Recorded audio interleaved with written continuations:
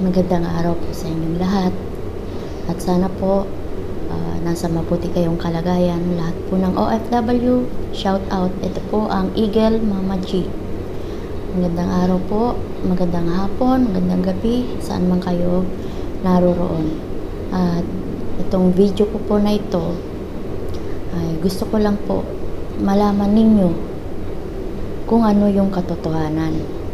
Kasi kami po ay nag-member sa One of the at hanggang ngayon kahit isang item po ay hindi po na ibabalik or at yan po ay kinukuha na po namin. Okay lang naman po item or pera kasi nasa voice message naman po ni uh, Sis Malu de los Santos na nasa kanya na ang items namin.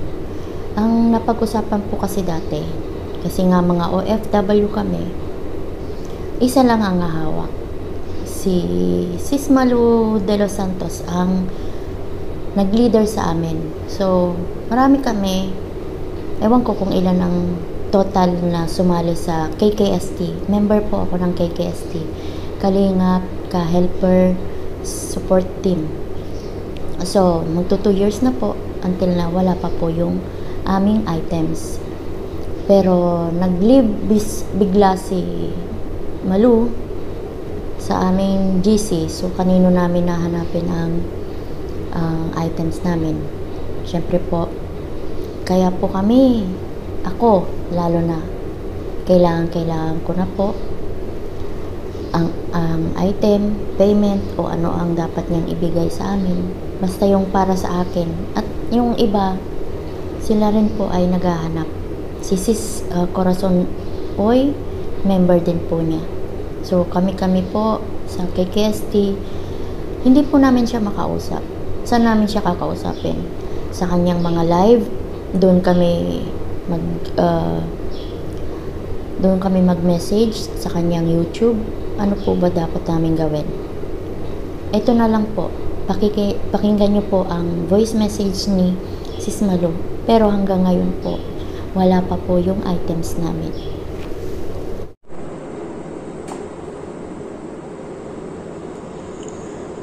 Sis Gina, di ba mama, ah, pinadala ko na sa'yo yung pa password, yung sure name mo sa Wanukti. Ikaw ay naka-encode na sa Wanukti. Tapos yung product mo, di ba, sabi ko, oh, sabi mo, hindi mo na, no, at ibininta ko na lang. Iniwan ko yun sa Pilipinas. Ang dinala ko lang dito, parang ako na lang ang magbabayad yun, yung pa yun sa gluta kasi hindi mabinta yun doon sa Pilipinas dahil 2,200 ang halaga noon. Alam mo naman ang Pilipinas hindi talaga nila makayanan ang ganong ano tsaka yung sabon ako na ang iba yung naman at tsaka yung chuko yun ay iniwan ko sa Pilipinas at ibinibinta nila yon pero mayroon naibinta ko na naibinta na yung juice yung dalawa ni ni Corazon Oy Mrs. Corazon Oy. Kaya mayroon na kayo doon. Bali ang nandoon yun na 3,888 yun ang halaga nung sa Diyos kaya ah, parehas kayo ni Sis Cora ngayon tatanungin kita kung yung sa one of the na ano kung ida-downline mo pa uli o kung ipapadala ko na lang sa iyo yung pera ng sa one of the na Diyos na bali na ibinta ko yun na bali nandito ng sa one of the yung tag doon eh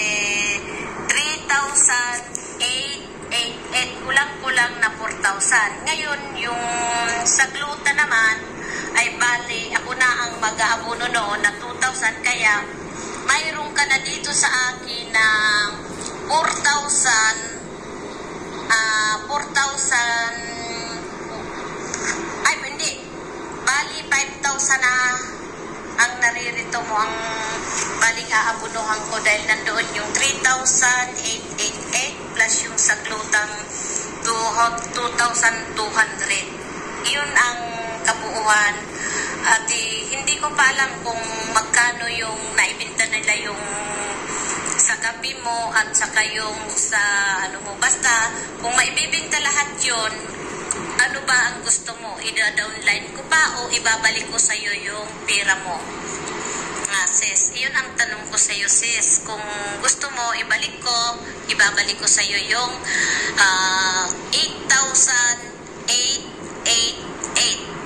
Bali, ayun, ibabalik ko sa iyo sis. Kung gusto mo. Kung gusto mo naman, ida-downline ko sa downline mo. Pero may pinadala ko na sa iyo yung name mo, yung passport, password mo, buksan mo yun, magpaturo ka. Yung pinakita mo sa akin yan, buksan mo yan.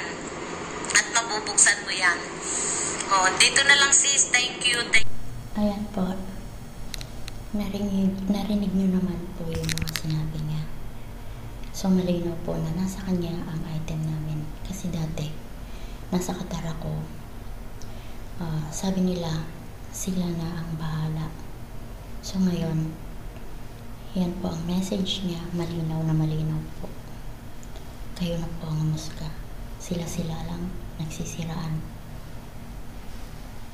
Sige po. Salamat po sa inyo at God bless.